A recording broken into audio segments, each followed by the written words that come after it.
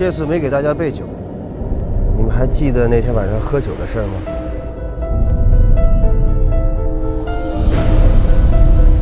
今夜，所有人都是最真实的。小野，我不要你跟海哥赛车。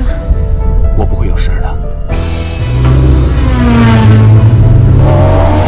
我觉得没有什么事情是可以让我开心的。你连自己活在这个世界上想要什么都不知道。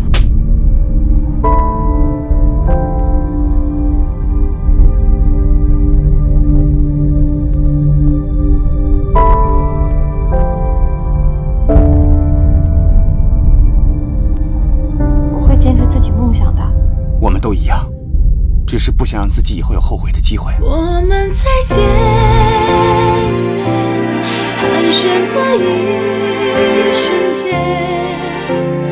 忽然间心隔了好远，说不出口的语言。我们再见面，仿佛就像昨天。